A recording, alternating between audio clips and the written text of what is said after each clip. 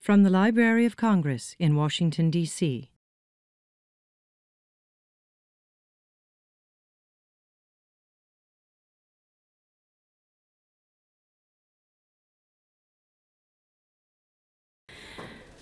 Bueno, muy buenas tardes y bienvenidos a la vigésimo sexta edición del Maratón de Poesía del Teatro de la Luna. En nombre de Georgette Dorn, directora de la División Hispánica de la Biblioteca del Congreso, es un honor para mí recibir este grupo de poetas aquí en la biblioteca, especialmente a Rey Berroa, quien será nuestro moderador del evento de hoy y podrá ofrecerle más información acerca de esta tradición literaria de Washington, D.C., que es el, maratón de poesía, ¿no? de Poetry Marathon. Ah, no quiero dejarlos sin antes invitarlos a pasar por la división hispánica, que está localizada en la sala 240 del edificio Jefferson. La división es el portal a nuestra colección de más de 12 millones de ítems en la biblioteca que tienen que ver con todos nuestros países y otros países de América Latina, con España, Portugal y latinos en Estados Unidos. los invito además a que escuchen grabaciones de autores leyendo sus propias obras en el Archivo de la Palabra, que desde 1943 ha capturado más de 750 autores eh, leyendo su obra. Entonces es una joya que se trabaja aquí en la división. Los dejo sin más con Rey Berroa, que va a moderar el evento y nuestros mejores deseos para un maratón exitoso.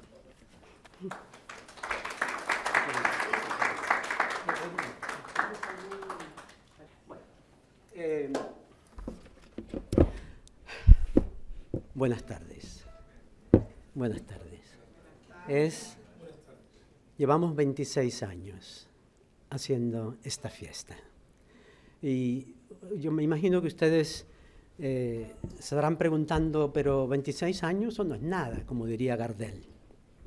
Claro, porque se murió a los 40. Eh, entonces, claro, eh, no, no, no, tienen la, la, la, opción de tener uh, la variedad. De estos 26 años, llevamos 17 viniendo a la Biblioteca del Congreso.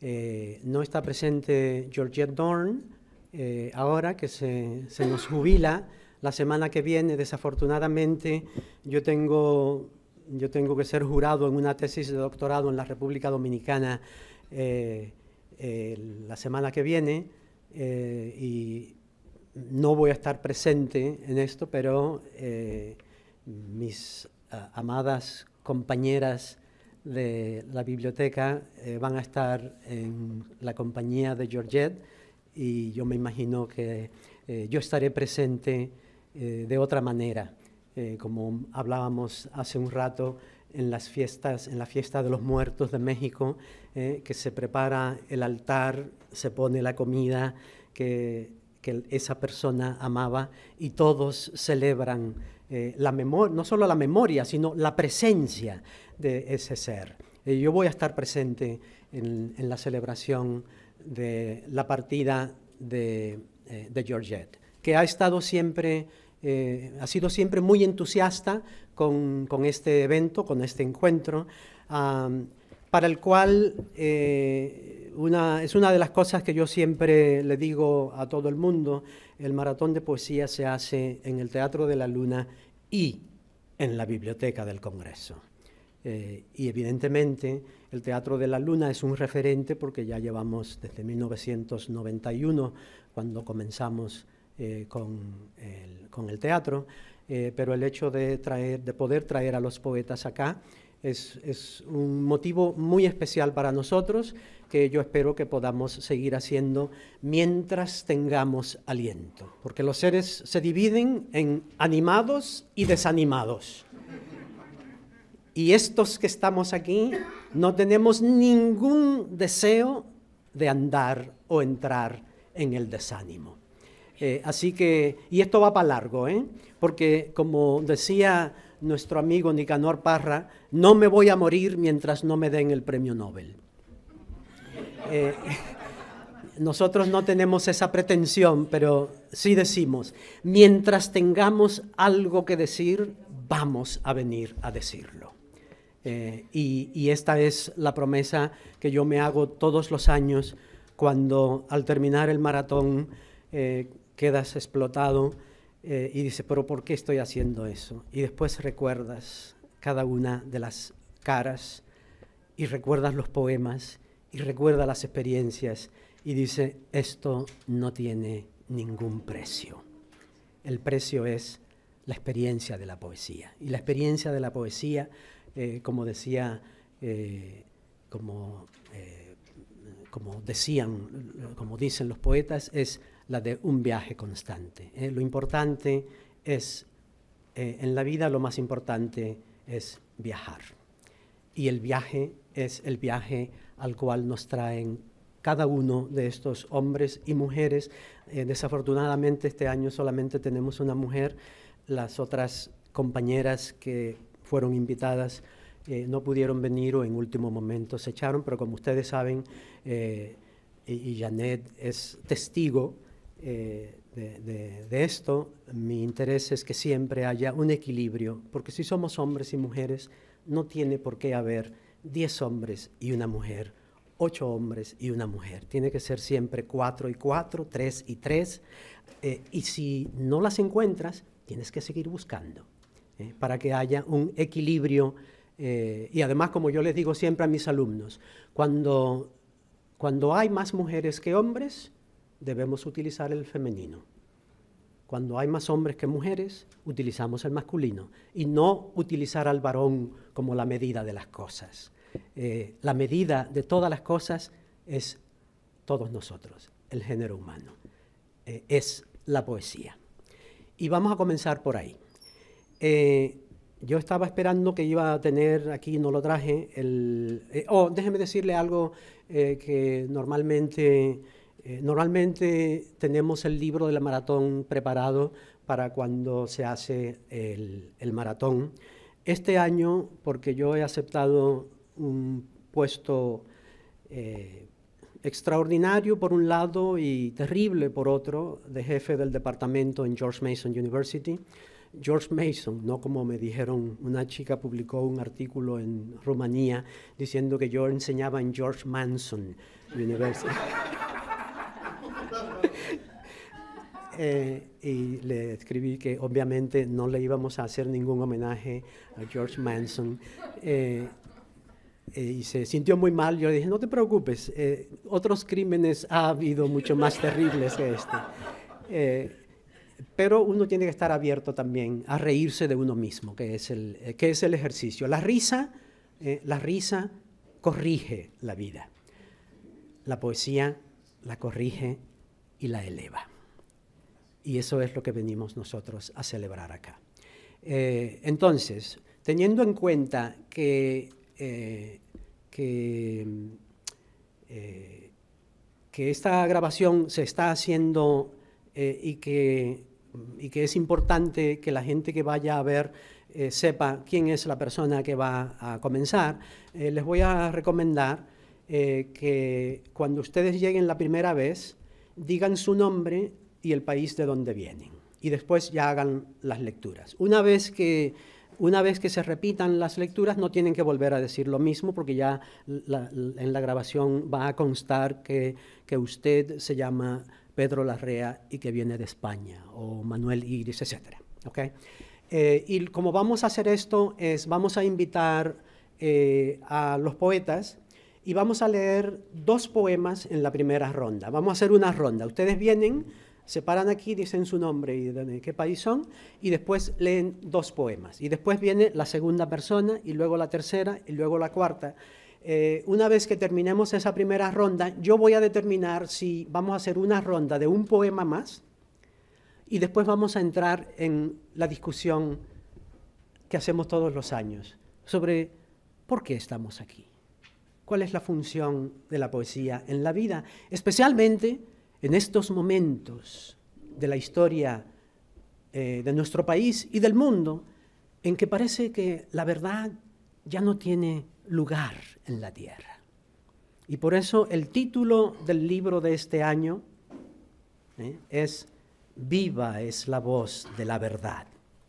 Que es un verso de una de las poetas a quien celebramos este año, Aida Cartagena Portalatín, una extraordinaria eh, escritora dominicana, grandísima poeta, eh, y se celebra también el centenario, junto con el centenario de Aida, del poeta eh, español Leopoldo de Luis, otro poeta a quien yo tengo un grandísimo aprecio, porque a través de su eh, de su, la obra poética completa, de, la, obra poética de Miguel Hernández, eh, que él publicó con su hijo Jorge Urrutia en 1975, fue que yo me aproximé a Miguel Hernández, que es el poeta que me ha dado de comer, eh, porque es el poeta sobre el cual yo escribí mi tesis de doctorado. Quiere decir que a él le debo mi carro, mi casa, mi trabajo y encima a mi mujer. Y ahora y ahora a todos ustedes. ¿eh? Gracias por estar aquí. Gracias, Talía. Eh, gracias, eh, colegas de la Biblioteca del Congreso. Y gracias, compañeros de la experiencia de estar vivos, por aprovechar este momento a venir a llenarse de poesía. y quiero poner como ejemplo a un poeta que estuvo aquí hace dos años, Tomás Modesto Galán, eh, que nos dijo, necesito recurrir otra vez a la verdad de la palabra poética, abandono Nueva York y estaré en Washington con los poetas. Muchas gracias, Tomás. Em, vamos a hacer una cosa. Eh, vamos a comenzar así mismo, ¿ok? Plinio, Carlos, Manuel, Jorge, Pedro y milagros. ¿eh? ¿Qué les parece? Eh, he traído el libro del año antepasado, el libro del año pasado, que lo tengo allí, lo voy a enseñar después, y otros, y otros textos simplemente para que ustedes lo vean. Plinio.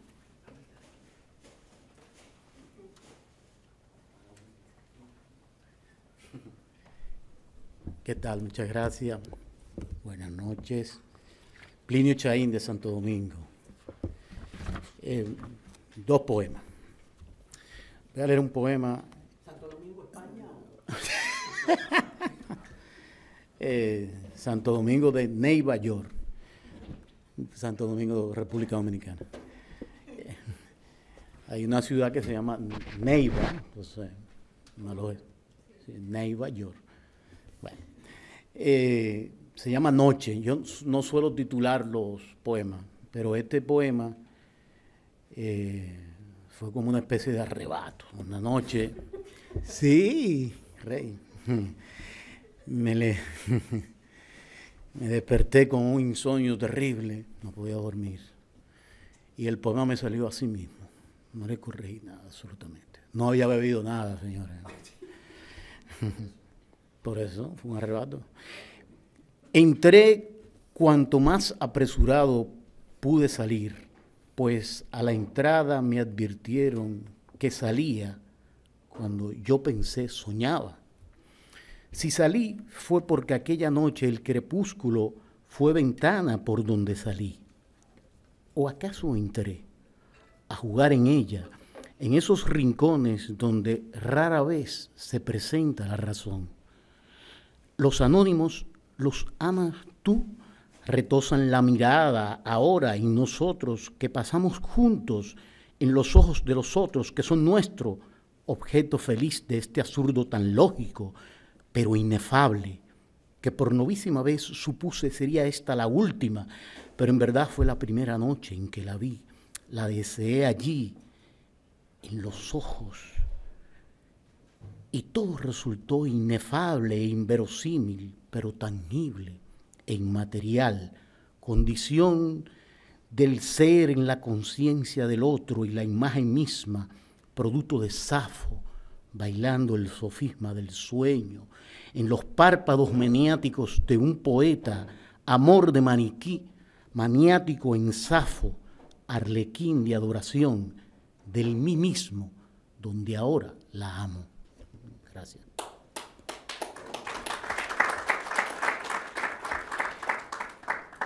Fue un simple sueño romántico, no hagan malos pensamientos. Entonces, Eh, este poema, dice un poeta dominicano, este poema estaba tirado por el suelo. Eh, resulta que este poema, eh, desgraciadamente yo no sé inglés, aunque no por falta de aplicación. Estudié 10 niveles y nunca logré aprenderlo. Entonces ya ustedes pueden saber. Eh, oyendo un día a Ted S. Helio, un amigo, tiene un disco de Ted S. Helio en inglés. El ritmo me sedujo, me embrujó. Y oyendo el ritmo, escribí este poema así mismo, sin corregir. Yo estoy hablando de estos poemas cuando yo tenía 24 años. Sin convicción no hay principio ni final. Error que recordar cuando el otro nos lastima la existencia desde el residuo inmóvil de lo que aprendimos siempre, siempre y nunca olvidamos de memoria. Así lo dijo Buda.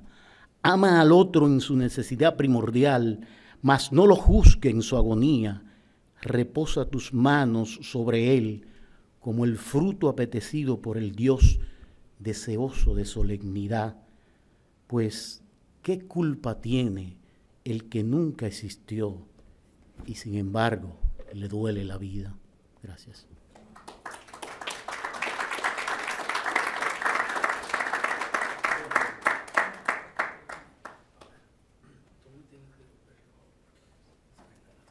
Facilitar esto, vamos a, vamos a aplaudir cuando el poeta termina su segundo poema. ¿eh? Hacemos un poema ¿eh? y después le aplaudimos porque hay siempre que celebrar la poesía. Buenas tardes. Yo soy Carlos Velázquez Torres de Colombia. Eh, ok. Este poema que voy a leer tiene por título AUC eh, es el, las siglas de lo que en su tiempo se llamó Autodefensas Unidas de Colombia, el grupo paramilitar que causó tantas masacres y muertes y dolor en, en Colombia. AUC.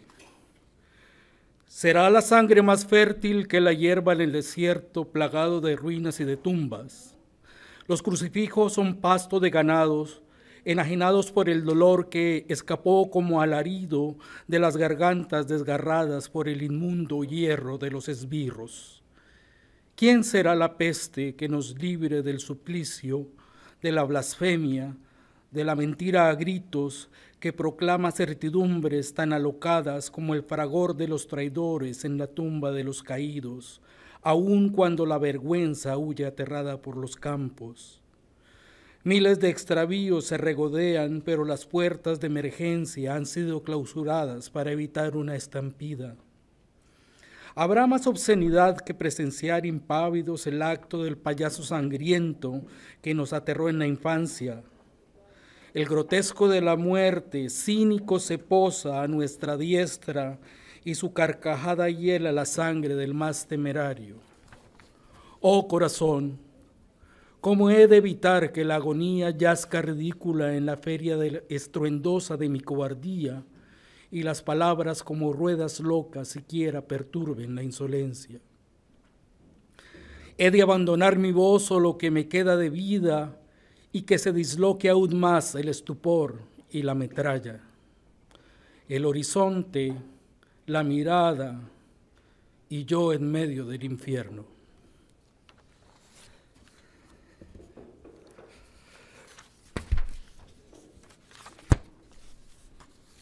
Em, muy bien, este eh, segundo poema es el poema que, dio título a, uno de mis poemarios. Es, de Tontos el Regreso. Yo se lo escribí a un amigo que no sé, la mayoría lo conocen, por lo menos los poetas, Carlos Aguasaco, en Nueva York.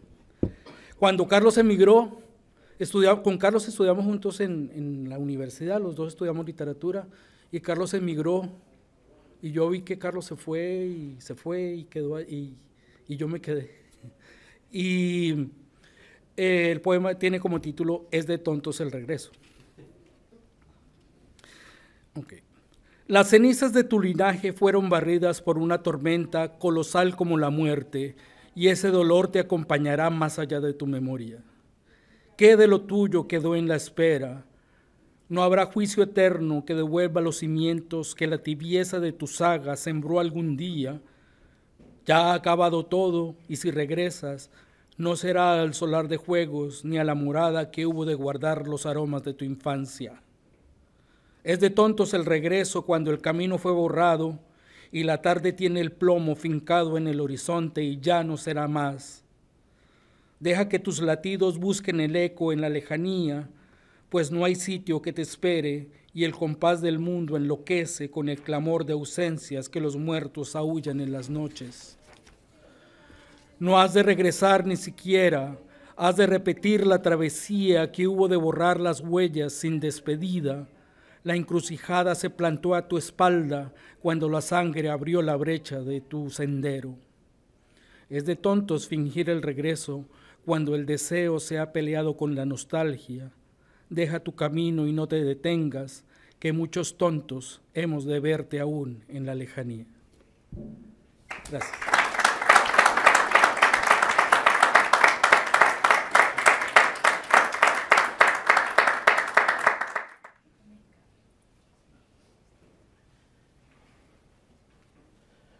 Hola, ¿qué tal? Mi nombre es Manuel Iris y tengo el raro privilegio de representar hoy a un país y a una ciudad. El país es México y desde hace más o menos dos meses la ciudad de Cincinnati me nombró el poeta laureado de la ciudad. Entonces, una cosa muy rara.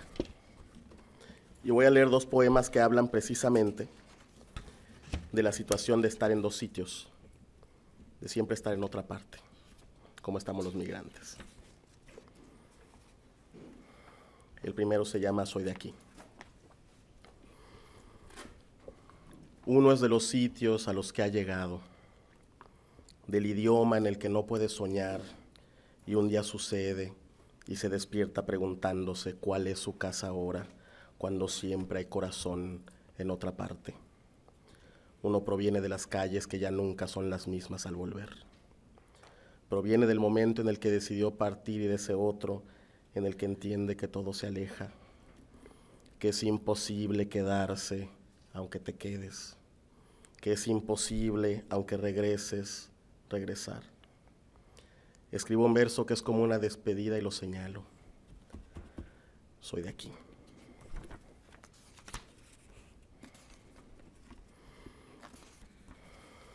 El otro poema no tiene título y habla de una llamada por teléfono con mi madre. Mi madre mira su ventana y dice llueve. Miro afuera, realmente está lloviendo. Dice, cuando niño te buscabas charcos para ver las nubes, abro mi ventana y todo huele como a sabor de jícama. Colgamos el teléfono, salimos a la puerta y sonreímos, como si viéramos la misma lluvia. Gracias.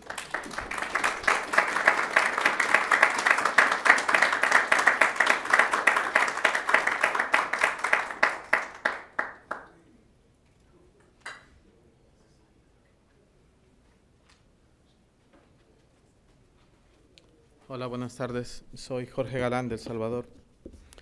Eh, voy a leer un solo poema porque es un poco extenso. Y quiero explicarlo, ¿no? El título es El chico de la Cruz Verde. La Cruz Verde es como la Cruz Roja, es lo mismo, ¿no? Entonces, hace, cuando yo estaba escribiendo un libro que se llama Medianoche del Mundo, leí la noticia de un muchacho que había sido acribillado por las pandillas. En mi país, El Salvador, Quizá ustedes sabrán que es uno de los países más peligrosos del mundo. Tenemos un problema de violencia muy fuerte. Y, la historia de este muchacho era que él vivía en una zona peligrosa y se había, había entrado a la Cruz Verde como una manera de, de alejarse de todo lo violento, ¿no? Pero le fue imposible. Y me conmovió mucho el hecho de que le hubiera sido imposible, como le es a la mayoría de jóvenes de mi país, alejarse de la violencia. Así que escribí este poema. Querías escapar a través de un camino que no existe. Tus pequeños pies del tamaño de puñados de abejas muertas Querían saltar sobre los charcos o hacer equilibrio sobre el reflejo de una cuerda, pero caíste y tu cuerpo avanzó hasta tu sombra para llenarla como una pila bautismal con agua bendita. Fogata fresca fueron las frases que gritaste mientras caías, agua encendida sobre siete penumbras. Todos sabemos que vestías de verde, que sobre el corazón alguien te había cosido una cruz blanca, que ibas con otros como tú, recogiendo los muertos como los pescadores recolectan peces inusitados, que entraste en la claridad del día en lugar de la oscuridad bajo la cama, que viste un aliento terrible convertirse en tornado y luego en grito, pero que seguiste de pie incluso un instante después del último disparo, y que sigues de pie para todos nosotros. Sé que te acribillaron al final de la tarde, y sé también que era un juego de niños, que fueron otros niños los que te dispararon y que te conocían puesto que te llamaron por tu nombre. Y sé la calle en donde sucedió, y sé el tamaño del horizonte implacable bajo el cual aún persistes. Los tíos vivos no saben girar más. Todas las madres menos una se han tornado un sollozo. Todas envejecieron menos esa mujer cuyo lenguaje se ha vuelto una lluvia de marzo. Una nube de cuervos se volvió su silueta. Catorce aves de mal agüero cantaron en la despiadada rama que el viejo viento elude, esa rama que solo florece en el invierno. Niño más grande que la plegaria en que persistes, se ha secado el mar sobre tu pupila aún abierta, se han quebrado las sillas de la cena de tus quince años y de tus dieciséis y de tus veinte, los bosques se han derrumbado sobre sus troncos y todo ha callado un minuto terrible, los rostros han caído como el hacha de piedra sobre el cuello de la gacela y se ha acabado el día. Siete balas, como siete maldiciones, como siete tornados súbitos asaltaron tu cuerpo, siete leonas grises para una sola presa, y derrotaron tu hermosa voluntad, y hablaron al oído de cada uno de nosotros para decirnos la verdad sobre todas las cosas, para advertirnos que estamos solos otra vez y mostrarnos el final de un camino que no comienza nunca. Gracias.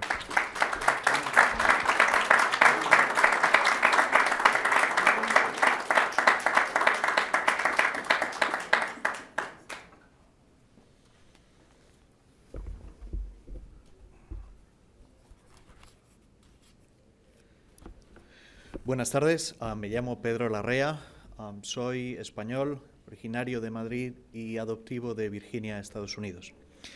Hoy en la Biblioteca del Congreso de los Estados Unidos quiero dedicar esta lectura a Engracia Mariscal, una persona a quien conocí en una nueva orilla libre del corazón.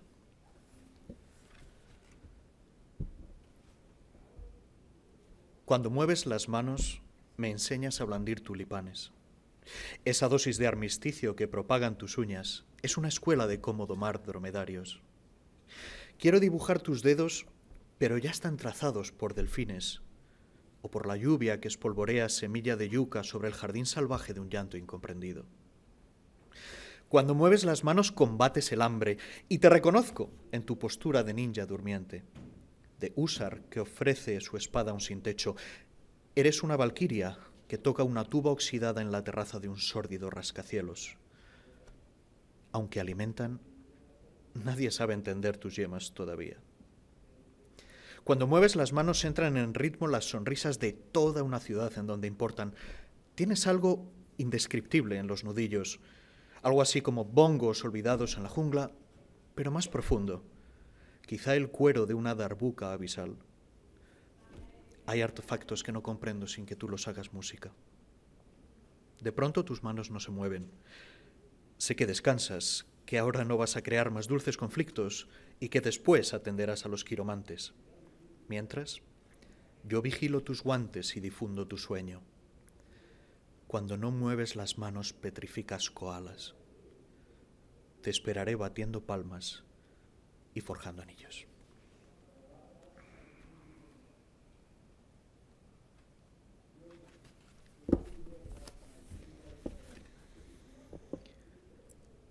No hay nada como verter un cubilete de azahar sobre tu blusa, abrirte el balcón y anunciarte que aún no ha llegado el correo de las islas. No hay nada como hacerte ver que un nómada te sostiene la sombrilla cuando vas a remojarte los pies a la charca con luna.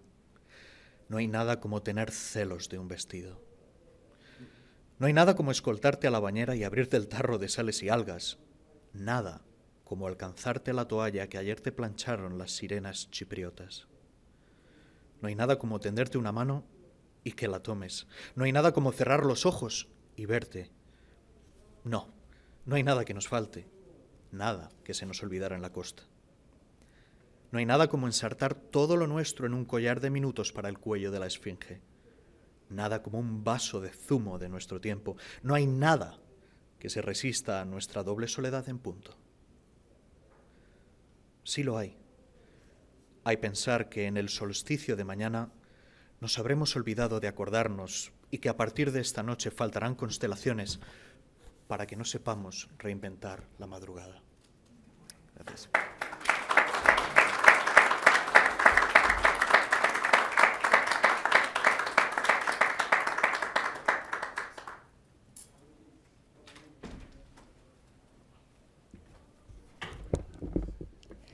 Buenas tardes, me llamo Milagro Esterán y soy de Nicaragua.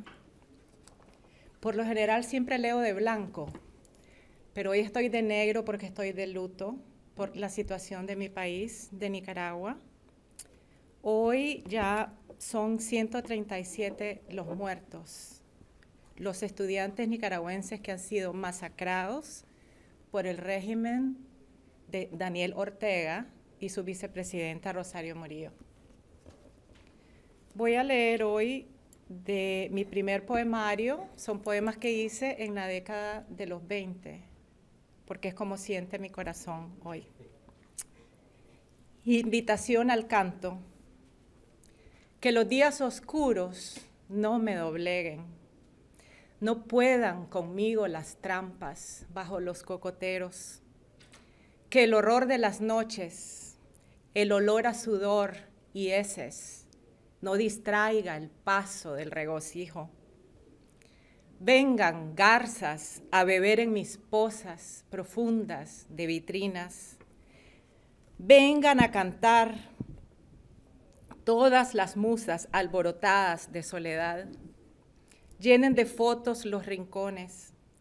Se amontonen bajo los cocoteros a ahuyentar este tiempo banal, tiempo de muertos. Adiós a Sarajevo. La puesta en marcha, el bautismo de fuego, el adiós a Sarajevo. La mochila sucia a ras del piso, bajo el asiento del autobús. La humedad de sus manos adherida a la ventanilla fría como el alma veo. Real como la guerra, sucia como el pecado y su impotencia, sin colores alegres, solo el gris de los ojos y el verde de los uniformes.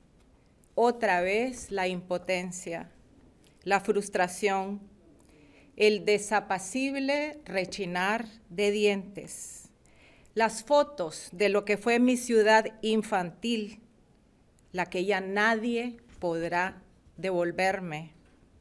Los discursos vacíos y el autobús rodando sobre el fango, dejando atrás las voces fantasmagóricas, el miedo a las trincheras, la lumbre del hogar, el bautismo de fuego, la tormenta. Yo pensé que Modesto debería ir a leer. Disculpa un, momento. Voy a leer un, dos poemitas breves. Eh, dos poemas breves ahora y luego hacemos la discusión. Sí. Eh, hay un poeta, murió ya, que yo tuve la dicha de conocer y tratar varias veces, eh, junto a un amigo poeta dominicano que ha venido aquí varias veces, José Mármol. Eh, Roberto Juarro. Y bueno, un poco influido por esa poesía ontológica, vamos a decir, existencial. Escribí estos textos, un grupo de textos. Tantísimo rostro hay como uno lo recuerda a todos. Ninguno puede haber como el que ha existido siempre, aunque yo jamás he visto uno. Todo parecido es imposible. Y este otro, bajo la influencia de esa poesía vertical, los que no se han encontrado aún están eternamente juntos, aunque se conozcan, como si nunca hubiesen existido, pues jamás olvida quien ha olvidado siempre. Gracias.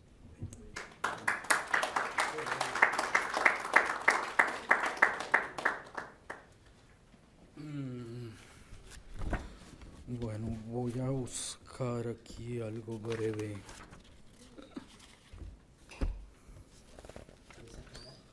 Estoy buscando algo breve. Eh, eh, ya un segundito. Se me perdió. Siempre, siempre me pasa. Eh, bueno, vamos a la, es, es- este que es el primero que aparece. Amanecer. Sigue gastando tu tiempo al esperar la aurora. Crees que con sus llegadas se borrarán de un soplo tus recientes pesadillas y el terror nocturno que sobrevino al día será disipado por las tempranas luces que nublarán el alba. Cada minuto que le entregas a la vana espera te será cobrado, cuando tu vida, la poca que te queda, se disuelva en el trasegar luctuoso del desengaño, pues no hay más pecado que esperar el regreso de los muertos o la justicia poética de los viejos cuando la suerte nos ha desterrado de su lado. Olvida ya esa extraña manía de aguardar silente en la mañana. Es posible que mientras llega, tus ojos se nublen por resplandores que enceguecen y el monótono silencio se transforme en estridencias con la velocidad aterradora con que la duerme vela engaña a quienes se desviven por el sueño. Puedes quedar absorto o imbécil, o acabar tu vida como inútil vigía, mientras los mercaderes de la miseria gigantan la usura y tu deuda crece y se hace impagable. No malgastes el tiempo, pues no te pertenece. Pronto vendrán a cambiarlo por tu sangre, venderán tus miembros y tus pocas miserias, y el silencio de la ruina se convertirá en mañana. Mm, bueno.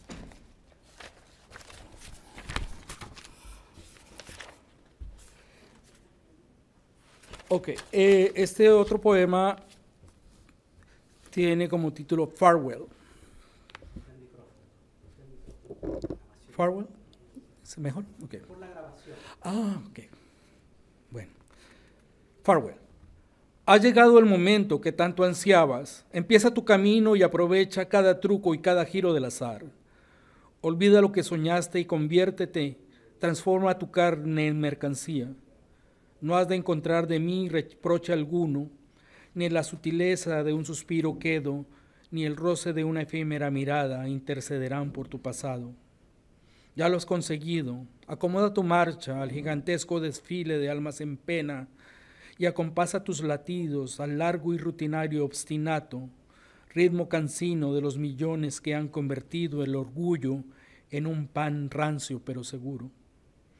Mantén, sin embargo, la fluidez de tu verso. No hayas de mostrar la verdadera profundidad de tus palabras, pues el sueño se romperá y un raudal de miseria será tu castigo. Repite orgulloso sus salmos, sus cantos, sus himnos, marcha altivo y esconde el vacío que en tus ojos dejó el horizonte tras la despedida. Vete pues sin miedo y no sigas acaso mi recuerdo. Ya vienen por ti y aún no has mudado ese ensueño nocivo que algún día se posó en tu mirada.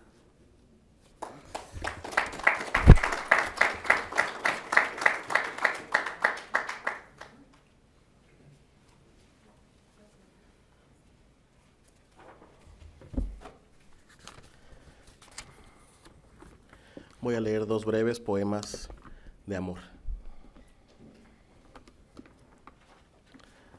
Hace también dos meses me convertí en papá. So, el primero va a ser de esa clase de amor, ¿no?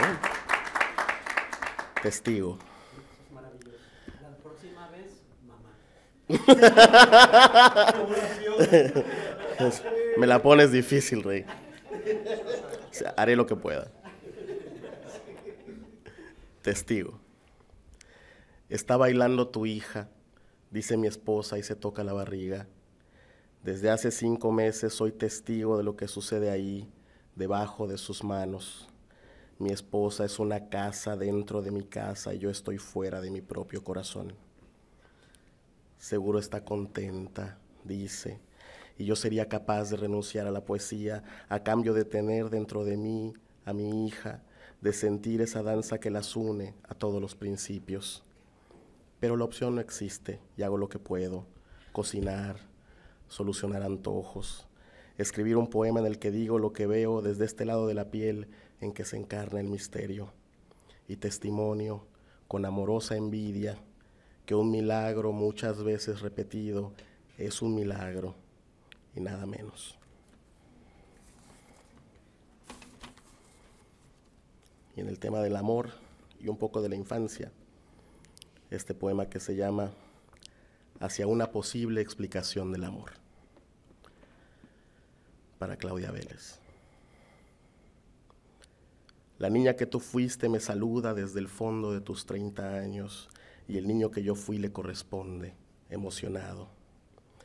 Amar es descuidarse y dejar que los niños que hemos sido salgan a jugar juntos y que luego regresen felices y sucios a mostrarnos hojas y piedras únicas. El niño que yo fui quiere salir al patio de la casa en la que fuiste niña y jugar en la lluvia contigo. A veces, mientras caminamos juntos, ellos también se toman de la mano. Gracias.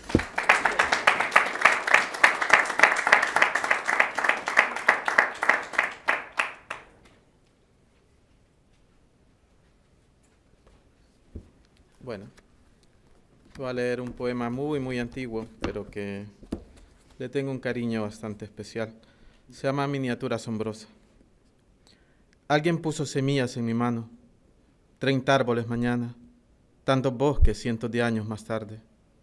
Aves encontrarán el sur en esos árboles, y los lobos encontrarán cobijo, y las hormigas crecerán como un cuerpo entre las raíces ciegas y soñolientas, y alguna vez una casa y otra casa construirán esas maderas, y el invierno bajará en sedimentos, y el, y el otoño con su total hastío pondrá sus pies pesados sobre los troncos gruesos y no los vencerá. Nada, nada hará que se quiebren. Y dentro de cien años, cien hombres serán hombres felices amando a sus mujeres bajo esos techos amplios. Un perfume de bosque flotará todavía en los hijos que lleguen. El mundo será el mundo, y la noche la noche las lechuzas de entonces tendrán ojos más grandes y comerán gorriones lo mismo que alacranes, y el ratón será mínimo como un insecto extraño. Su pálida pelambre lo volverá invisible de noviembre a febrero y no tendrá enemigo, ni el águila ni el hombre, si acaso la serpiente. Treinta árboles mañana, flores malvas y rojas creciendo en ese bosque. Ayer, unas semillas que alguien puso en mi mano y que yo lancé al cielo.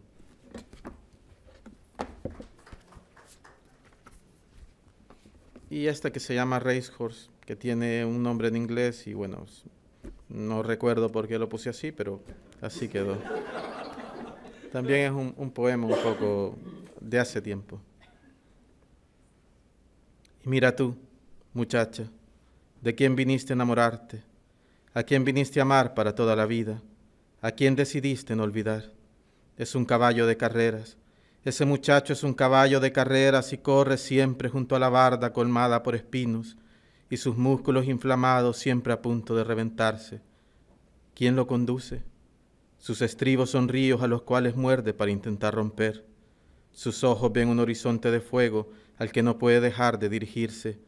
Sus cascos son de un cristal incorruptible que aniquila la piedra. Su crin es el viento azotado por el relámpago. Una tormenta tiene donde debió tener un breve corazón. una tormenta a la cual teme incluso el invierno mismo. Su imaginación es la misma que la de la montaña y la del grito que corta el silencio de la montaña desolada. No es de fiar. ¿Quién confiaría su alma a una tormenta?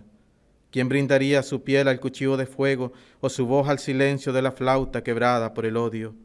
Y mira tú, muchacha dulce, te abriste como un cofre lleno de perlas que parecían brotar de la luz misma, y él ni siquiera pudo notarlo. Él es un caballo de carreras, y no le importa ni la ciudad, ni el camino que lleva a la ciudad, ni las joyas, ni un cuello lleno de joyas, ni un cofre lleno de joyas. Solo le importa el bosque, y el campo abierto, y la playa interminable, pero sobre todo la pista, esa pista de grama, arena y piedra. Y mira tú de quién viniste a enamorarte, a quien quisiste guardar en ti como un corazón nuevo, a quien quisiste abrazar hasta perder los brazos, a quien quisiste mirar hasta cerrar tanto los ojos que no consigues ya observar la dicha. Mira tú, muchacha linda, a quien quisiste amar, a un obstinado caballo de carreras cuya pista es el mundo.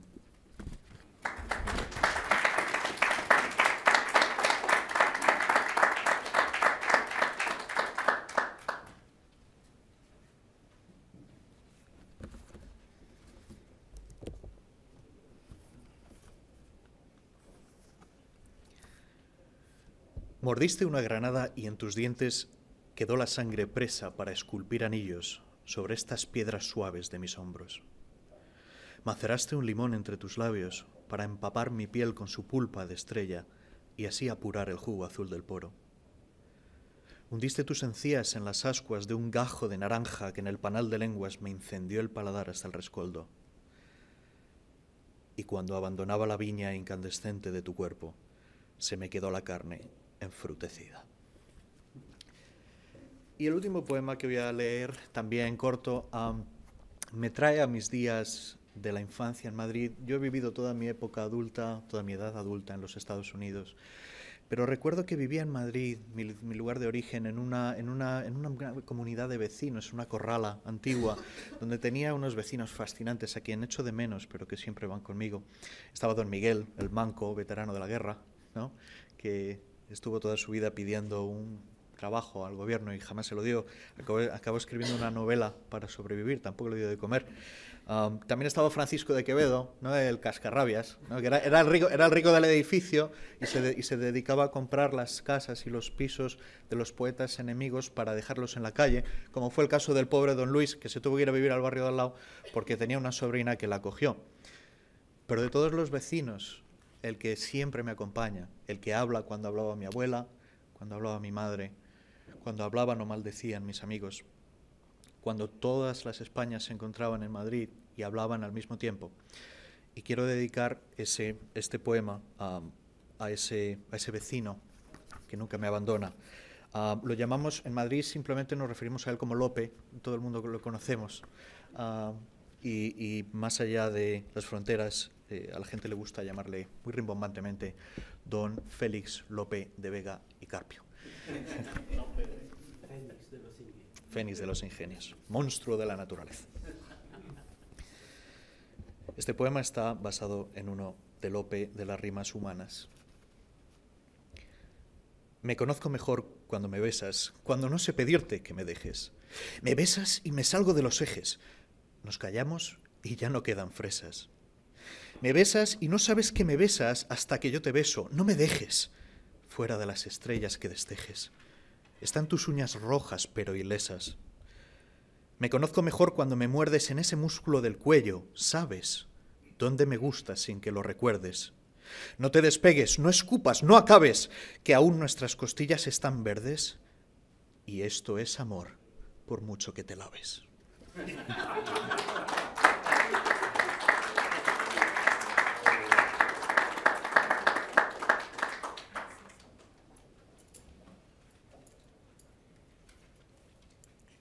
Bueno, ahora voy a leer de mi libro más reciente, que acaba de salir, pero antes quiero dar las gracias al profesor y poeta Rey Berroa por este trabajo que hace cada año de amor, de tener este maratón de la poesía.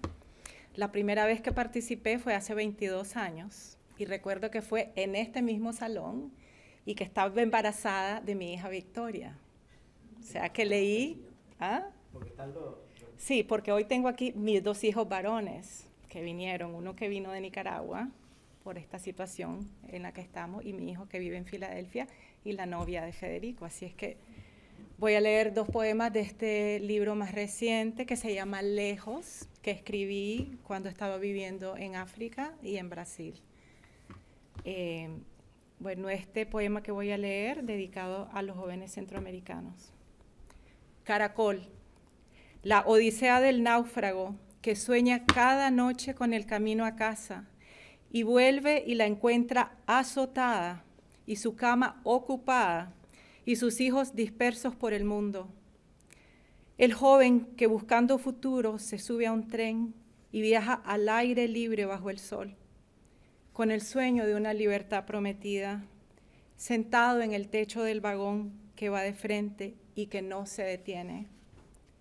Hoy soñé que era un caracol y que andaba mi casa sobre la espalda. Era grande mi concha, voluptuosa, la llevaba orgullosa sobre el lomo fuerte de molusco. Donde paro, la monto, la preparo, la limpio de vestigios de arena. Donde paro, me zambullo como pez al océano. Donde paro, la tiendo y me refugio. La pérdida.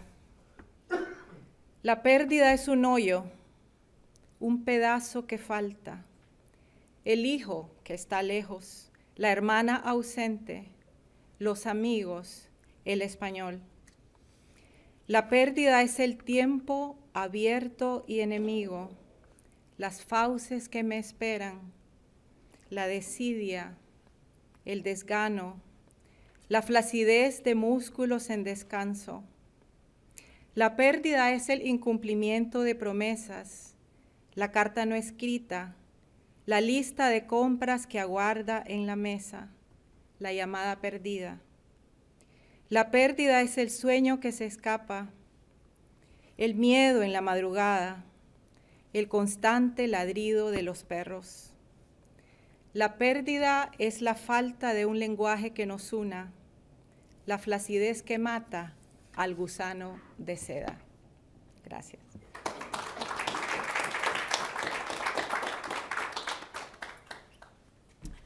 Bueno, vamos a entrar ahora en un capítulo eh, diferente al capítulo en el cual hemos estado durante esta hora que acabamos de, celebrar.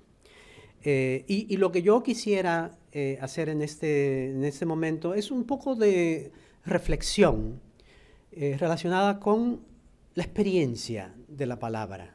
La experiencia de la palabra que nos hace sentir y que nos hace vibrar inevitablemente como seres humanos.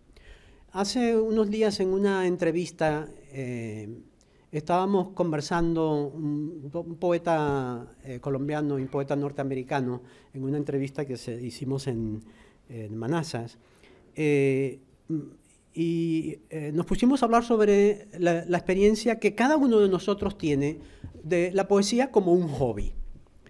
es decir, cada uno de nosotros inevitablemente sabe que sin la poesía, es decir, sin, sin la capacidad de utilizar las palabras eh, atadas a un ritmo particular, pero sobre todo eh, manifestando ese río de experiencias que cada uno de ustedes ha traído eh, aquí, cada uno de nosotros sabe que sin esa inevitable posibilidad de humanidad, nosotros no estaríamos eh, no, nos, sentiríamos como seres vacíos, porque además ninguno de nosotros vive de la poesía. Y es ahí donde yo quiero entrar, eh, en comenzar la discusión, porque a mí lo que me interesa ahora es ver cómo todos ustedes, no solamente los poetas que están aquí, sino todos aquellos de ustedes que, tienen la experiencia de, de leer, eh, no de tuitear, sino de, leer específicamente con esto eh, eh, hablan sobre la posibilidad de entenderse como seres frágiles, pero al mismo tiempo todos nosotros con un deseo absoluto de tener los pies en la tierra y la cabeza realmente donde tiene que estar. Maya Angelou, la poeta extraordinaria eh, que mm, fue invitada cuando Bill Clinton fue elegido presidente a leer un poema, la maravilla de tener ciertas personas que piensan en la necesidad de traer la poesía y esa práctica la comenzó, como ustedes saben, JFK con Robert Frost. Eh, Maya Angelou en una entrevista en un programa indicaba que había recibido un tiempo en, Wake Forest University, un puesto, le ofrecieron un puesto de por vida para enseñar poesía. Y entonces ella bromeaba porque decía, este es un regalo increíble. Es decir, incluso si yo llegara a, ser senil, todavía tendría la posibilidad de recibir un salario por mi factura como poeta. Y yo quiero comenzar por ahí. ¿en qué forma esa posibilidad que tiene Maya de recibir un puesto de, en, Wake Forest University, de enseñar poesía de por vida, eh, es una celebración de la poesía. Y, y al mismo tiempo, de qué manera cada uno de nosotros busca de alguna forma celebrar la poesía asegurándose de que no falta esa, esa celebración en los momentos que le toca estar aquí en la tierra. ¿De qué manera esto celebra la poesía? Eh, todo el que quiera decir, cuidado, no, yo no quiero eh, que ustedes crean que esta es una forma de obligarles a ustedes a canalizar lo que quieran decir a través de lo que yo digo. Esto es simplemente una forma de romper el hielo. ¿okay? Es decir, que si usted quiere eh, venir y tocar este tema, pues muy bien. Y si no, a mí lo que me interesa es que todos nosotros vengamos aquí a decir algo extraordinario sobre la experiencia de la palabra. ¿eh? Fíjense que ustedes se han olvidado completamente de los teléfonos y de tuitear durante este tiempo que han estado aquí. ¿Por qué? ¿A qué se debe eso? Esta es otra celebración de la poesía. ¿Cómo celebramos? ¿Cómo celebran ustedes la experiencia poética? Todo el que quiera decir algo tiene que venir aquí porque yo quiero que también eso esté en las grabaciones que se van a hacer. ¿Ok? Venga. La puerta está abierta. Sí, modesto. Ven, para acá. Para que... Sí, eh, cuando escucho al maestro Rey Berro hablando, y me siento, me aumenta mi timidez. No sé, Pero también cuando escucho esta playa de poetas, yo sabía que había dado un paso positivo al emigrar de Nueva York hasta acá porque iba a sobrevivir al tiempo que nosotros estamos viviendo ahora. Esa sensación de, de estar escuchando algo no usual es lo que me hace feliz. Y el escuchar experiencias de las vidas de muchos seres humanos evidenciada con tanto encanto y con tanta originalidad. Y gracias que había una mujer en el grupo eh, que resume las otras que faltaron. Este momento ha sido inédito. Esa es la, palabra, inédito. Yo creo cuando, yo disfruto el momento previo a la poesía y la poesía en sí misma cuando el poeta está hablando de, lo que va a leer, yo percibo otra cosa, otro texto, como me pasó hace un rato con eh, Janet, que me hablaba de el mundo negro en el que con el que ella se encontró en un momento determinado. Yo encuentro un mundo en cada uno de ustedes.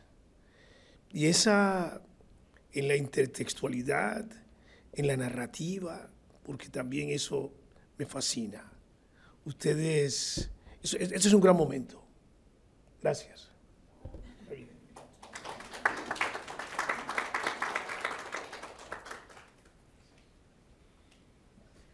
Buenas tardes. Eh, para mí la poesía es desahogo y es celebración de la experiencia humana, hecha sentimientos y poder profundizar en nuestros dolores y en nuestras alegrías y en la universalidad que existe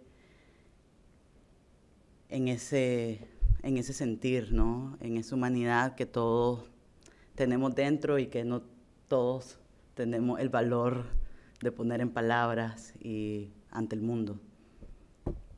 Gracias.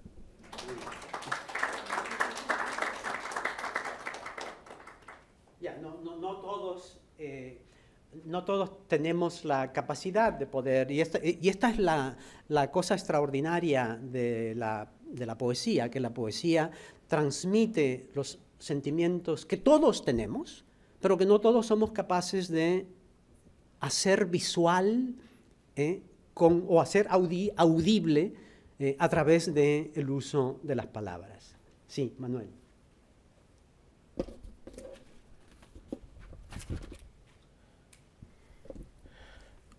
Eh, contra natura trataré de ser breve. Yo siempre hablo mucho. Ah, a pesar de que desde que nací soy breve.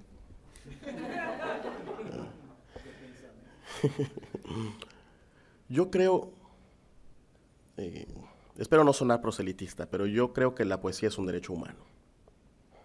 Yo creo que la poesía es necesaria de verdad como el aire y como el agua y como la comida. Y yo creo que eh, la poesía, la expresión artística, tanto hacerla como, como disfrutarla, son un derecho humano, porque sin eso uno no está desarrollando sus capacidades enteras como ser humano. Hay una parte que nos falta cuando eso no está allí. Y yo creo que es responsabilidad de todo mundo, de todo mundo, de los maestros y de los padres y de los bibliotecarios y de los vecinos y de los amigos y de todo mundo, poner un poco de belleza en el mundo, agregarle algo a la poesía. Yo creo, al agregarle algo al mundo, yo creo que la poesía es un acto de justicia, porque cuando el mundo es horrible, uno tiene que responder con belleza porque es lo único que podemos hacer. Y cuando el mundo es bello, uno tiene que contestar con belleza, porque es bueno agradecer. No debe existir otra opción que contestar con belleza. Debemos siempre recurrir a la belleza contra el mundo. Debemos siempre recurrir a la belleza a favor del mundo. Entonces yo creo de verdad que la poesía es un derecho humano. Y que ahora mismo, cuando Estamos tan acostumbrados a que todo se individualiza, se individualiza el timbre del celular, se individualiza la foto de Facebook, se individualiza todo y todo el mundo quiere ser único. La poesía nos recuerda todo lo que tenemos en común.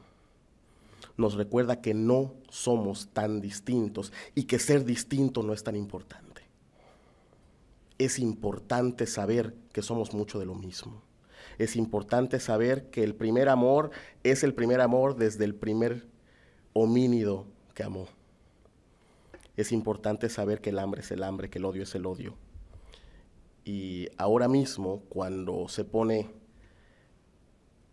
tanto énfasis en nuestras diferencias, yo creo que es necesario que recordemos ese derecho humano de estar unidos por lo que tenemos de igual, que es casi todo. La poesía se encarga de eso. Yo creo que la poesía se encarga no de hermanarnos, sino de recordarnos que ya éramos hermanos desde antes. Creo entonces, y termino repitiendo mi primera frase, yo creo que la poesía es un derecho humano y que por lo tanto hay que defenderlo. En eso estamos. Gracias. Sí.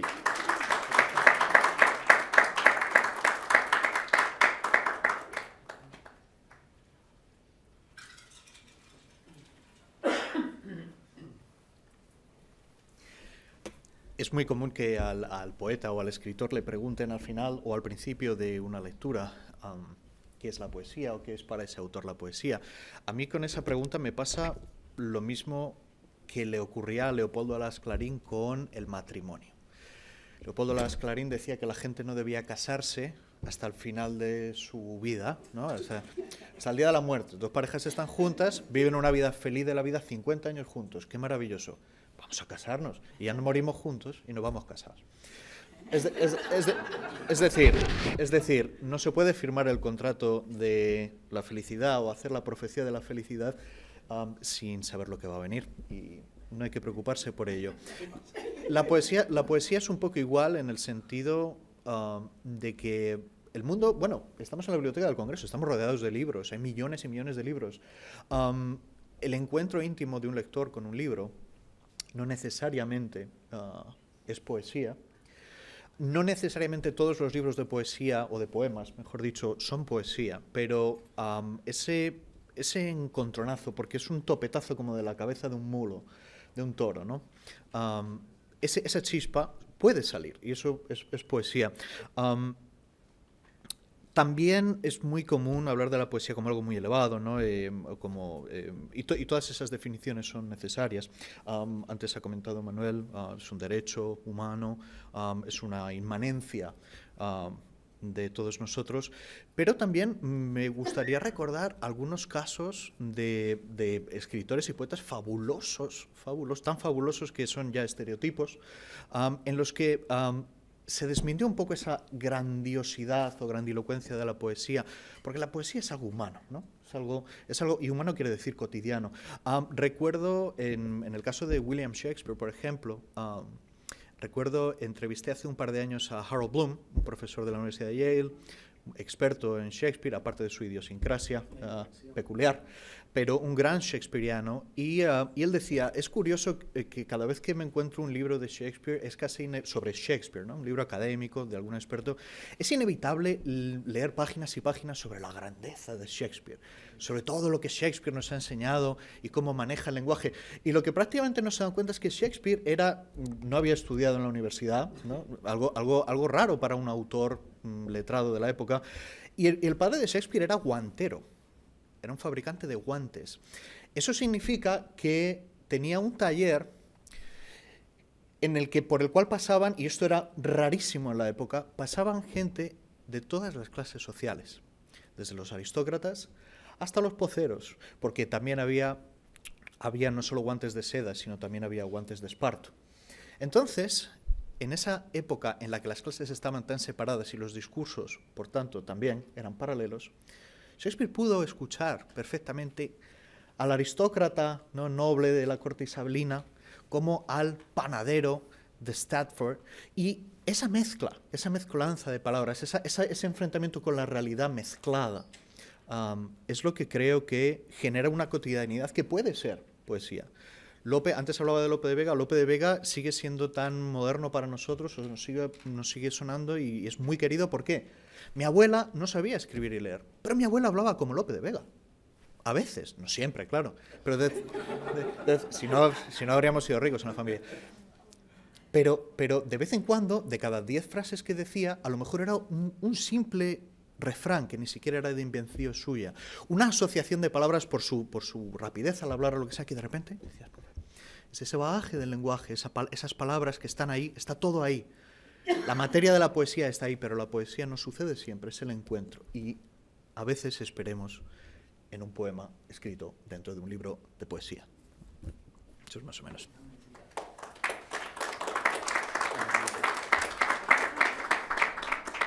Yo, al igual que mi compatriota, soy tímido, eh, pero al oír la palabra de mi amigo aquí, eh, bueno, eh, Harold Bloom decía que Shakespeare en realidad había inventado la vida. El libro de él se llama La invención de lo humano. Eh, o sea, el poeta, partiendo de, esa idea, el poeta para mí es el que crea nuevas visiones, funda otra realidad, mundos nuevos, nos descubre la parte más oscura, más perversa del ser humano. Eh, el poeta, a través de la poesía, del lenguaje, como expresión fundamental, eh, en realidad lo que hace es inventar una nueva vida. Y a propósito de eso, eh, yo creo que definir la poesía es un imposible, un imposible creíble, como decía Vico, eh, porque en el momento de que se define la poesía, en el momento de definir la poesía, se disuelve en sí misma. Sucede que hay una frase famosa, una anécdota que está en la confesión de San Agustín. Decía que si me, si me preguntaran qué es el tiempo, no sabría qué decir. Ahora, si no me lo preguntan, sé lo que es el tiempo. Yo creo que un poco pasa con la poesía eso. Si no me preguntan lo que es la poesía, yo sé lo que es la poesía. Ahora, si me la preguntan, estoy perdido. Entonces, eh, yo creo que la poesía simplemente es, no significa, como decía Archibald MacLean, el poeta norteamericano. Eh, por eso, cuando tú hablabas, eh, recuerden que yo vengo del Caribe y los caribeños todos somos un poco esquizoides, fragmentados. Sí, sí. Anoté por eso estas esta breves palabras. Eh, cuando tú hablabas de la poesía como el oficio que uno puede vivir, nadie vive de la poesía. Sería un milagro realmente. Claro, a excepción de los escritores profesionales, y ahí se perdería todo riesgo. Cuando uno se convierte en profesional, se pierde todo riesgo, porque no hay aventura. El escritor debe ser siempre un aficionado, un hombre que aprende cuando escribe. Siempre la experiencia es virgen, siempre. Y era la gran idea de Malarmé. Escribía un poema y lo que estaba era reescribiendo, lo volvía, quería por eso escribir el poema perfecto. Es decir, que la poesía, que el mundo acabara en un libro. Bueno, si viviera en esta época, estuviera en crisis de pensamiento. Porque, porque en realidad la realidad, el mundo no va a terminar en un libro, va a terminar en una computadora en el Internet. Ahora ya lo importante no es el medio, sino que son los soportes, los diferentes soportes. Eh, en ese sentido, creo que la poesía es un milagro aún. Eh, a propósito, como uno no vive de la poesía, yo escribí aquí, eh, uno no vive de la poesía, uno vive para la poesía y por el poema uno de la poesía se sirve para inventar la poesía, que es la vida. Gracias.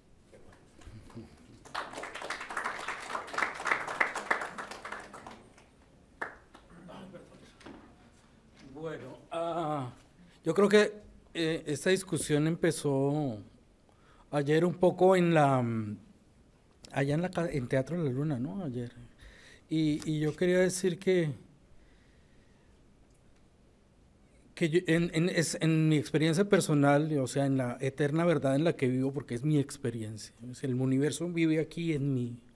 Nosotros compartimos muchas cosas, pero la verdad está en mí, qué pena. Es la única verdad que conozco, ¿no? No, eh, eh, pero más allá, más allá de, esto que puede parecer un poco egocéntrico, de verdad, es la única, la única forma que yo puedo traducir el mundo es a través de mi propia experiencia, ¿no? Y si nos ponemos eh, teológicos, eh, la única forma de trascender es a partir de, mí. Y, yo veo que, que la poesía es, es, es, algo que está, que me encontró a mí, tal vez algo que es una parte de la experiencia común que tenemos como, como seres eh, humanos, tal vez, o espirituales, si se quiere pero que comparte otra cosa con lo que señalaba Manuel, que puede traducirse en belleza o puede traducirse en algo trascendental, y lo que hablaba Octavio Paz, ¿no? que la diferencia entre poesía, poema y lo poético. ¿no? Eh, yo, la poesía la, la, la podemos vivir en el poema, pero en mi experiencia yo trato de vivir la poesía, pero también estoy siempre en busca de lo poético. Y lo poético lo puedo encontrar en lo cotidiano y en las otras artes, ¿no? Y de esa forma la poesía se convierte en una resonancia que abarca todas esas otras experiencias poéticas y que yo puedo plasmar en, en el papel. Sin embargo, puedo también encontrar la poesía en el cine, en la música o en el refrán incluso en un madrazo, en una mala palabra, en el momento exacto en la calle, ¿no?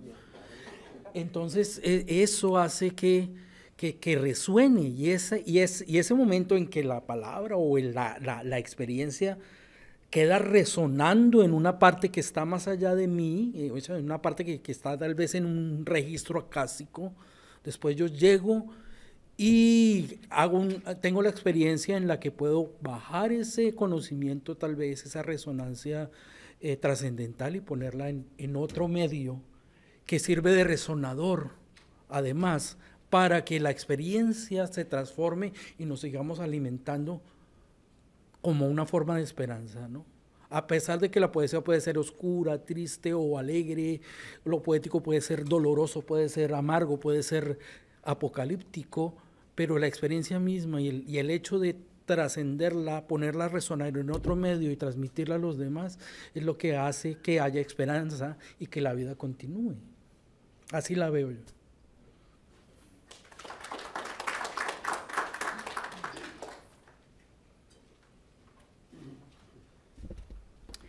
Buenas tardes, mi nombre es Diolinda Economo y he disfrutado muchísimo este programa, este recital me encanta la poesía y quiero agradecer de todo corazón al Teatro de la Luna por la oportunidad que nos da de reunirnos y gozar de programas como este. Gracias.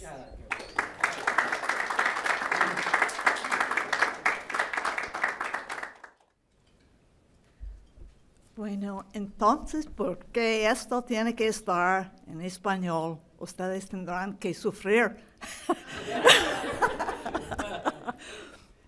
Quiero decir que una novela es como un cuerpo y la poesía es como el alma, que una novela es como cerveza y la poesía es como whisky o licor.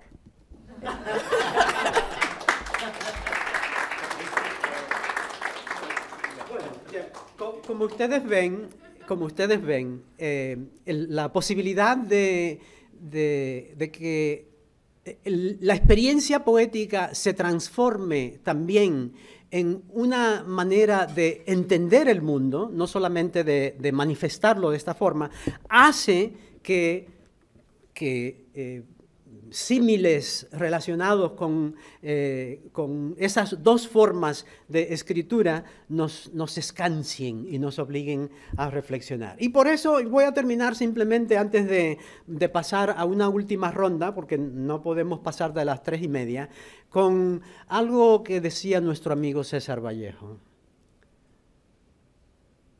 Hay quienes son poetas porque escriben versos y hay quienes escriben versos porque son poetas.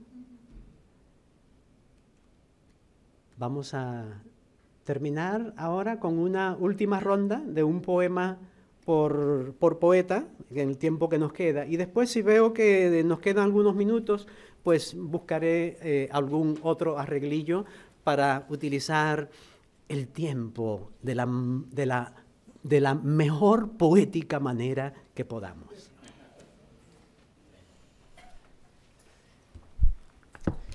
Voy a leer un poema, digo, todos son de amor, pero este es más erótico. Claro. Pero tú ahí desnuda, con tu desolación en otros líquidos, transfigurado el sexo y los labios sangrantes, rabiosa lisonja o vacía sortija de otras sombras, afilas la piel en ostras que se ensañan, otrora olor que la tome, dijo, horror, miedo, bestia, dice, mordiste en mi dolor la mueca, el odio. Gracias.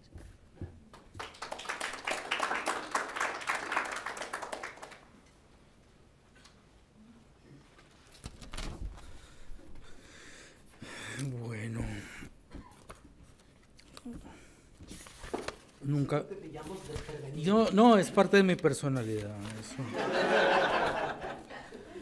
eso. Es- es- esto es completamente deliberado. Ok.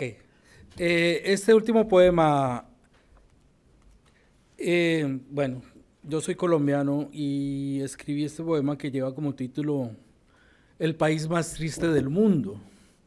No sé, de pronto alguien puede ponerle el título del país que quiera. El país más triste del mundo. La ciudad nocturna rumorea y murgas de abandono recorden audaces la maraña de calles y avenidas plagadas de mujeres deliciosas que comparten sus caderas al sonoro retozar de los tambores y hombres ebrios, cansados, pero expertos en la rutina de compartir un lecho de tarde en tarde. La juerga vespertina devora con avidez al silencio. La fiesta, el holgorio, hacen más oscura la procesión de almas que sueñan acaso el sosiego, mudas como invasoras de tierras ignotas y hostiles. Hubo cantos, olvidados ya, pero sé que los hubo, que hacían noble el dolor y hermanaban al hombre con los pájaros, tiempos en que la madera viva reverdecía tranquila al sol de los venados.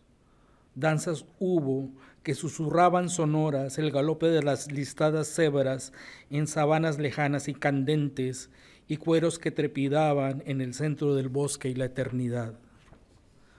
La sangre de mil colores recuerda acaso que la sierpe fue la hermana y el lobo y el babuino, mientras la lengua se extravía y la mudez heredada por el plomo agota el sueño que olvidamos antes de la aurora.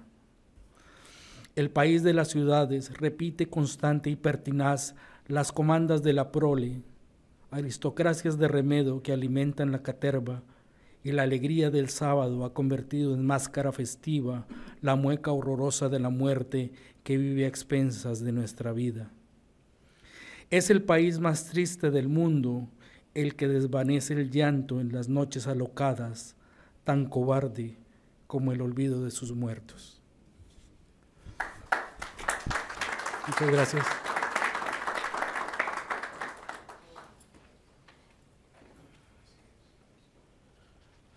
Bueno, yo leí ya poemas para mi esposa y mi hija, y uno de mi mamá. Que voy a leer uno último, no, para otra de las mujeres importantes de mi vida, que es, mi abuela. Eh, mi abuela es quizá la persona que más me ha querido en la vida. Y de pronto un día... Bueno, todavía me quiere más mi abuela. Yo, yo te quiero mucho. Hasta que un día mi abuela le dio Alzheimer. Y empezó a confundirme, empezó a confundir mi rostro con el rostro del hombre que la abandonó, con cinco hijos. Y yo de pronto veía el rostro de mi abuela, que es el rostro que me ha visto con más amor, preguntándome, ¿por qué me hiciste esto? Y me tocaba explicarle cada vez que nos veíamos que yo no era él. Lo cual a mí me da la certidumbre, es una, una de mis obsesiones poéticas, es que todo es una repetición. Y en este caso, esta conversación repetida me servía para confirmar que incluso mi rostro no es mío por primera vez. El poema se llama Ecos. Mordida por su edad, mi abuela le habla a la anterior que la vio por mis ojos. No te dolió jamás dejarme así, con cinco niños. No nos pensabas nunca. Me siento culpable del silencio que mi rostro antes de mí guardó Pero le aclaro, amor, yo soy tu nieto, el primer hijo de tu hijo menor, soy el que vive lejos. Ya decía yo, me dice, que no tenía sentido que yo fuera una vieja y tú siguieras igual. Me abraza con alivio, como si esa conversación entre nosotros acabara, pero sucederá, como es costumbre, la siguiente vez que nos veamos. Gracias.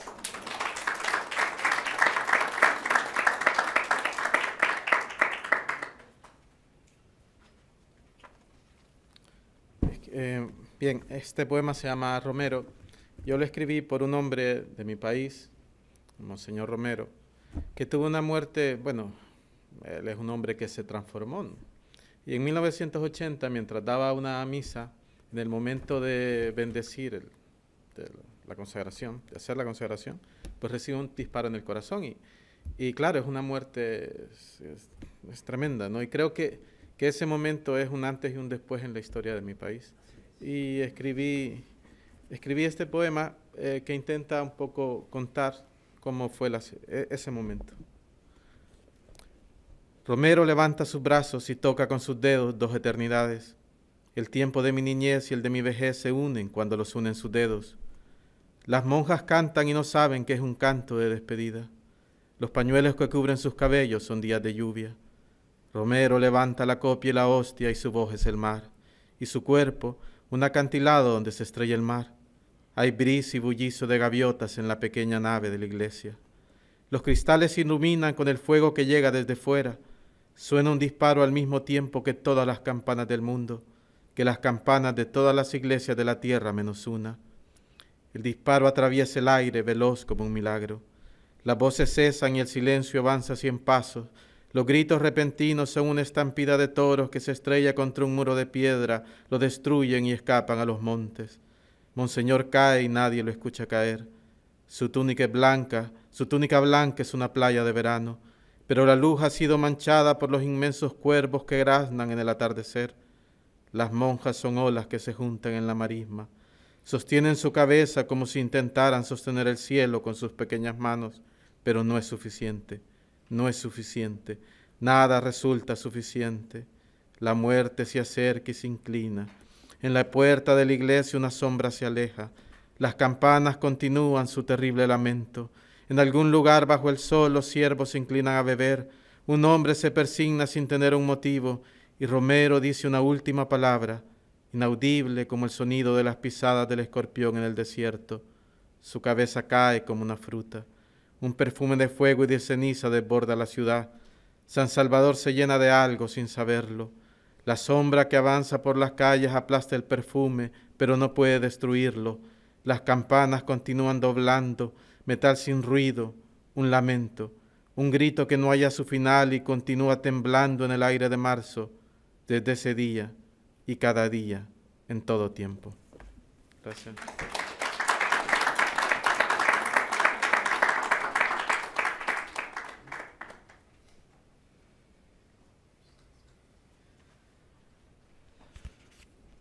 Una pregunta de obsesión, o si no de obsesión, de interés, creo que universal, es ¿quién soy yo? Quizá todos nos hayamos hecho esta pregunta. Hay momentos. Sí. ¿Perdón? Ok, bien. Um, el vasallo. Um, y es una pregunta que en mí sí ha sido una obsesión. Cuando intento explicarla en términos culturales, pienso que la, la base de mi cultura es doble. Ah, por una parte, yo me crié entre una familia de ámbito mediterráneo y otra familia de ámbito atlántico. Ah, es un ejemplo de dualidad, pero sobre todo eh, quizá las, los, grandes contrastes de nosotros mismos nos los del tiempo y este poema está, ah, está basado en, en esa reflexión. Soy más viejo que mi cuerpo, como el cedro es más viejo que sus hojas actuales. Hiberno como el cedro y despierto cuando la batuta de las horas golpea el atril del espacio. Por mí han pasado corcheas, como por el cedro macillos de colibríes. Soy el que fui con la corteza de lo que seré sin estrenar. Soy más joven que mi espíritu. Mi casa es un cráter que creó una roca de otro mundo antes del invierno nuclear y de la primera glaciación. No comprendo que ninguna pirámide sea más antigua que el más joven de mis olivos, ni entiendo la trompeta frigia y el arpa persa que a veces toco por intuición. Me confunde ser testigo del nacimiento de una galaxia. ¿Cómo puedo ser viejo cuando soy joven y joven cuando soy viejo? ¿Cómo puede no existir una edad única que me dé sentido, que justifique mi presencia en el pasado y el presente y que imponga paz al bramido bélico del estar siendo y del ser estando? ¿Cuándo poseeré un rostro definitivo para todos los espejos? ¿Cuándo podré decir, este soy yo, sin equivocarme demasiado? Soy joven, pero conozco los secretos de la cartografía. Soy viejo, pero tengo agilidad para boxear contra mí mismo. Soy lo que falta antes de ser y lo que queda después de estar. ¿A quién odiaré más que al palimpsesto de mi carne? ¿A quién tendré por cómplice en el soborno de mi espíritu? ¿A quién daré los labios de quien me habita sucesivamente en soledad?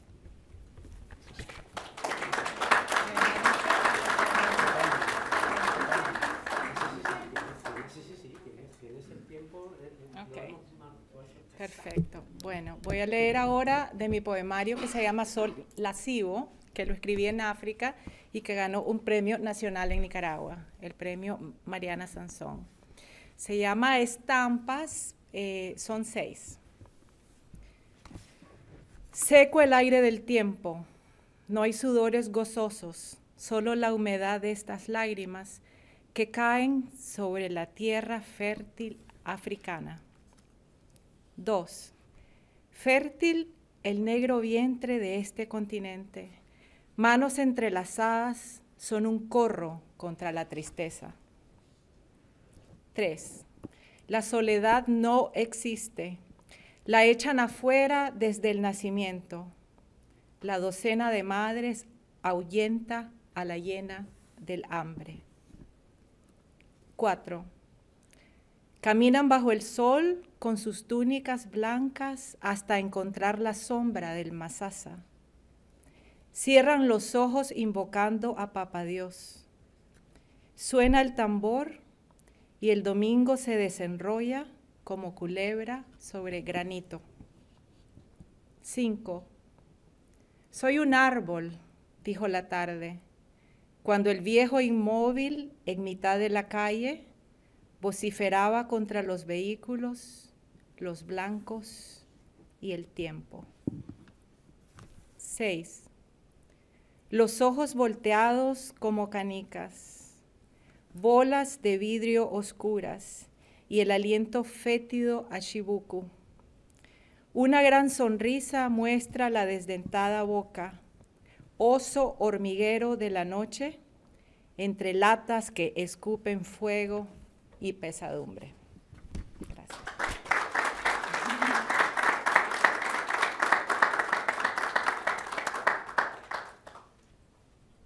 Y con esto, exactamente a las tres y media, cerramos el primer, la primera etapa, este primer momento del 26 Maratón de Poesía del Teatro de la Luna. Gracias. ¿eh? como, si, como si lo hubiésemos planificado. Eh, gracias, Georgette. Gracias, Talía. Gracias, Catalina, que estaba por aquí. Eh, gracias a todos ustedes. Poetas, gracias por la palabra y la experiencia poética de esta tarde.